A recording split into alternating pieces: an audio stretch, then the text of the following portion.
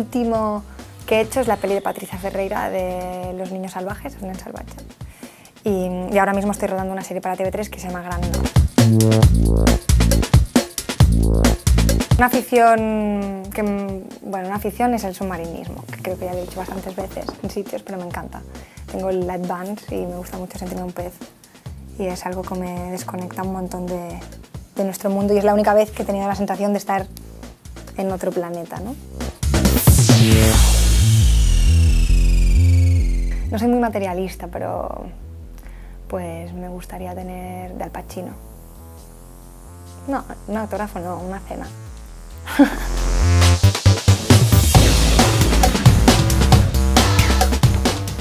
una vez en un casting que me hicieron cantar y lo hice fatal.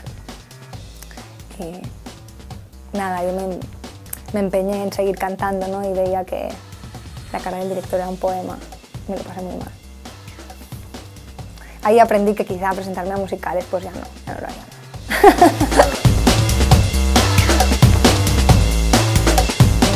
David Lynch me, me, marcó en su momento cuando empecé a entrar en su mundo, ¿no?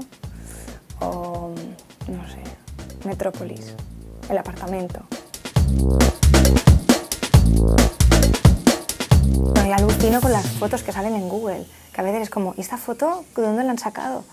Que yo que sé, que de pronto te la hicieron hace una semana, no sé dónde, o sale todo, desde una foto que te has hecho con una chica que te ha venido a ver al teatro y que la cuelga y dices, hostia, esta foto que me hicieron. Se tiene que vigilar mucho con las fotos que dejas hacer.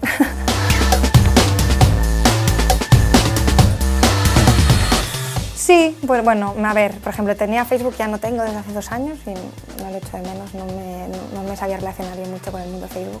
Pero Twitter sí, por ejemplo, me gusta porque sigo a gente, o sea, el, el funcionamiento de Twitter me interesa más. Sigo a gente que me gusta y me entero de cosas y es como que es menos la portería de casa, ¿no? que me parecía un poco más Facebook, pero tampoco soy súper activa.